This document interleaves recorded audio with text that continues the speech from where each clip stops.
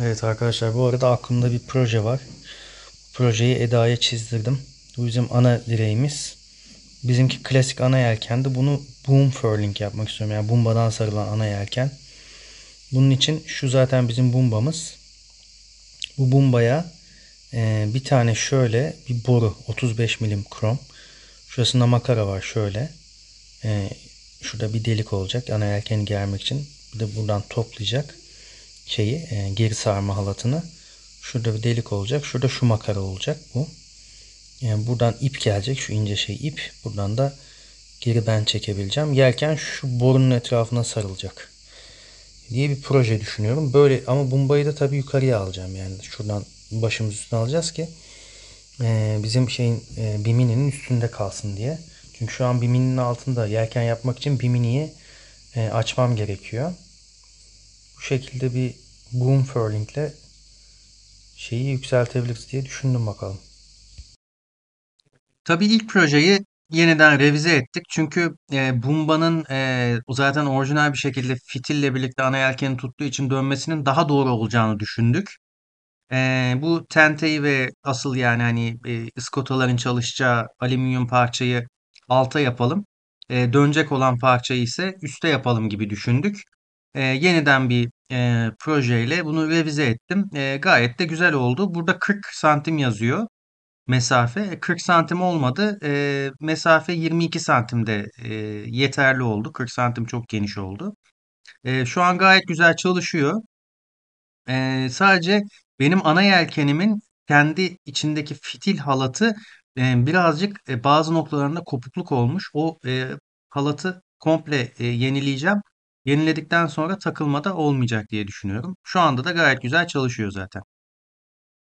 E, bu arada gördüğünüz gibi ilk yapım fotoğrafları da gelmeye başladı. Bu 40 santim hali. Sonradan bunu e, kısalttık daha kısa olması gerektiği için. Burada da tekerleğini yaptırırken ana yelkeni geriye çekmesi için e, yüksek mühendislik çizimlerim, AutoCAD çizimlerimi canlı 3 boyutlu AutoCAD çizimleriyle e, tornacı Baki Usta'ya açıklamaları yaparken ve sonra canlanmış hali.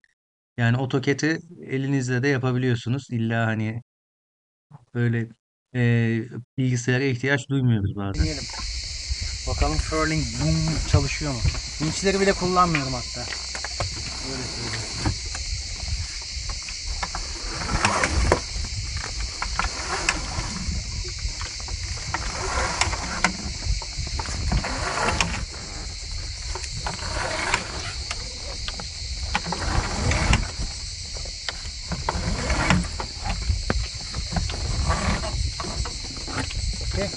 Evet. Harika. Harikalı harikalı çektik. Harikalı oldu. Vallahi güzel oldu. Elinize sağlık. Şimdi bunu salarken de ben de yapabilirim. Tabii de ben tek de yani tek de sonuçta çıkacağız değil mi?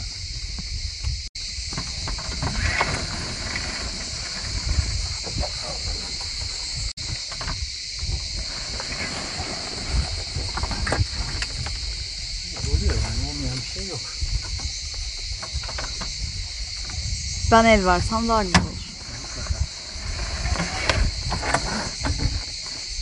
Ama olmuyor değil.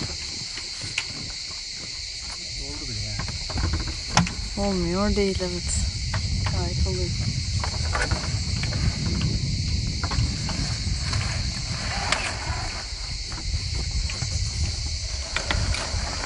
Süper. Bitti zaten. Onu Az da deneyip göreceğiz o zaman. Sıkışma olabilir. E, sıkışıksa da ne yapacağız? Yapacak bir şey yok. Eder gideceğiz. Bir el Düzelteceğiz. Bir aydır kaptanımızın uğraştığı bumba ve yelken curling sistemi oldu gibi. Şuralarını çektin mi bak. Madem çekim yapıyoruz. Ver bana.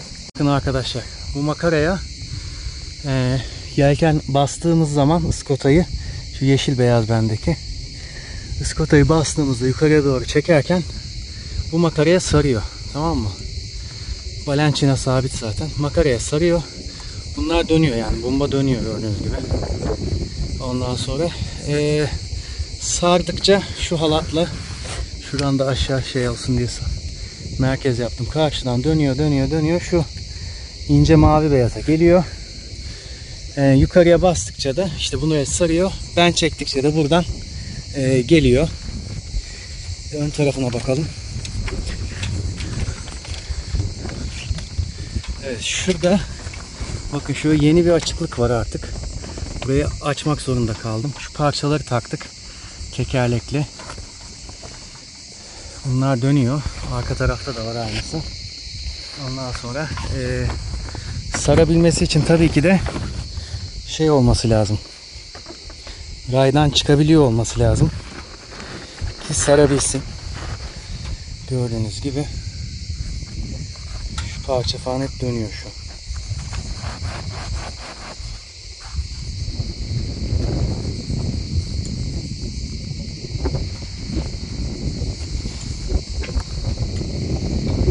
Ee, burada değişik değişik şeyler var. Gördüğünüz gibi bir parça daha var. Şu güneşlikler. Önemli değil. Şöyle şu parçayı kromcuda alüminyum bu. 5 milim yaptırdım. Şu içine geçen plastik yani teflon değil yani şey e, neydi derlin. Derlin şuraya kadar falan geliyor. Ve bu dönebiliyor arkadaşlar.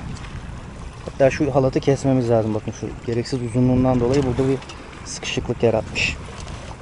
Şimdi toparlarız o kolay. Ondan sonra bu dönüyor. Bunun aynısından arkada da var. Dönüyor. Kıç tarafta bir tane gördüğünüz gibi bir de makara var. Ve buradan çıkıyor. Buradan aşağı iniyor. Havuzdaki vinçlerin oraya şöyle gözüküyorsa vinçlerin oraya gidiyor. Şimdi o zaman buradan dönüyor. Ee, arkadan da dönüyor. Ne olmuş oluyor? Bumba dönüyor arkadaşlar. Hareketli bir bumba. O zaman bumba görevini bu yapıyor. Üstteki parça hareket etmiş oluyor. Pupa palangası, e, ıskota vesaire zaten aynı. Alttakine bağlı. Üstteki de kendi etrafında yelkeni topluyor. Şu parçaları yeni yaptırdım. O yüzden biraz daha hatta kendim açı vermek zorunda falan kaldım. Bu da şu yelkeni bu, bu aletlerde e, mutlaka şey yapmak gerekiyor. Ne derler? E, öne çekmek gerekiyor. Çünkü bu buraya kadar sarılıyor. Şöyle bir pay var ya. Bu pay bozuyor. Bunu da işte bu yapıyor. Bunlar öne çekiyor. İki taraflı. Gördüğünüz gibi bu şekilde öne çekiyorlar. Ve e, gayet güzel bir şekilde hallolmuş oldu. Bunlar falan hep elle hani açısını hesaplı hesaplı yaptım. Bunların hep yeri değişti. Normal orijinal yeri burasıydı.